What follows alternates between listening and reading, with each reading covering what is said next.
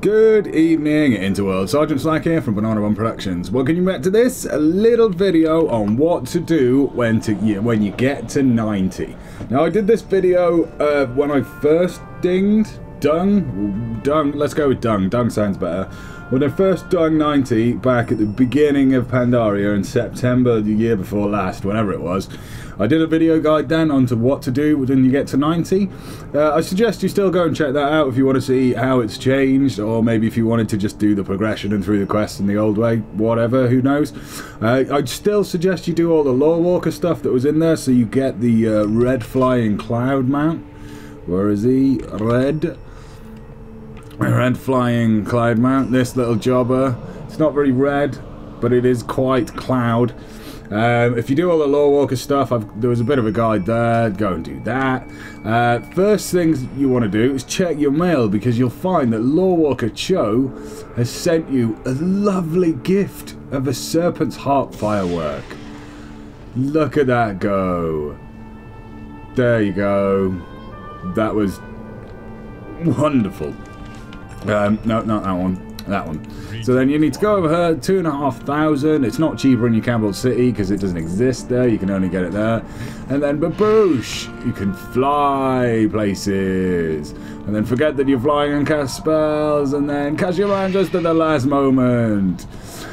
Uh, so that's all good. There's still a bunch of quests all around here. All these all these guys under here doing the usual stuff. Uh, I will take your quest actually because I want those. Uh, everyone else can, well, you know me, I'm not much of a rep grinder. Uh, the one you do want to take, however, is a flash of bronze. Speak with Chromie outside the Eternal Seat, which is in the middle. So once you've learnt your flying, and obviously I suggest you set your Hearthstone to out here in Pandaria. Mine is already there, uh, because I'd already used it. So you come over here, resist the urge to get a lift back down with Mishi as much as possible, and then you talk to Chromie.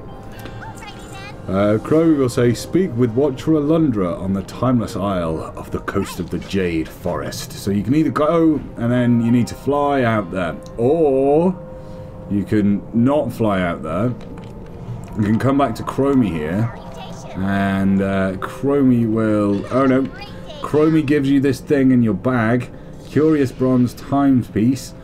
Boosh teleports you out to the Timeless Isle. Oh, look at that. Isn't it beautiful? Look at it go. Baboosh! And here we are on the Timeless Isle.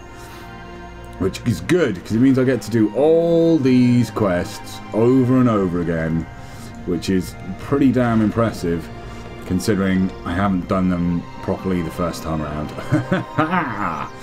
so then get yourself out to Timeless Isle, work through the progression, and you will receive some of these jobbity doos.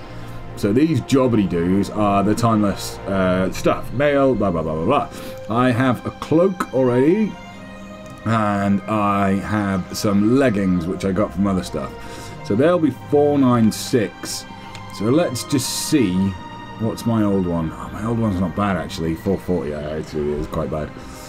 Let's do it because I want my gear to be resto. I'll probably do it as um, thingy, as boom chicken around here. Oh, crit haste, not the best for me. But let's see what that does to my eye level. 408 goes up to 411. Let's do another one. Uh, I want you to go over there because I want to keep you. Uh, so where's that? Put him there. Fire chances Bridges of the Undertow. Haste and Spirit, that's not bad. That's better than like Crit Mastery or something. Boosh, another one of those. Don't know if I want to keep them. Where's that taking me to? 415. So it will take me a couple more to get me into where I need to be to be doing uh, heroics. But yeah, that's what you do. I'm going to be sessioning out the Timeless Isle now, trying to get gear. I'll see if I can get a few friends to come and heal them through doing buttload tons of DPS so I can just chill. And yeah, that's where I am. I've still got a lot of gear to replace. I've still got some of my old epics. So I might just have to jump into a few more random dungeons to get me up. I might have to see what I can make with leatherworking. So, uh, that's pretty much it, guys. Get to the Timeless Isle and start collecting those Timeless coins. Uh, there's chests that spawn around the Firewalker Ruins and the Blazing Way that have some really good gear in. There's the little chesty event thing that was put here. There's all the rares. There's all that good stuff going on. And there, there's lots of people who like standing in my camera shot on the Timeless Isle. So, this is Sergeant Slack from Banana Bomb Productions saying thanks very much for watching this, my much shorter guide to what to do when you hit 90. Uh, please do comment, like, subscribe if you did, and I'll catch you next time. ta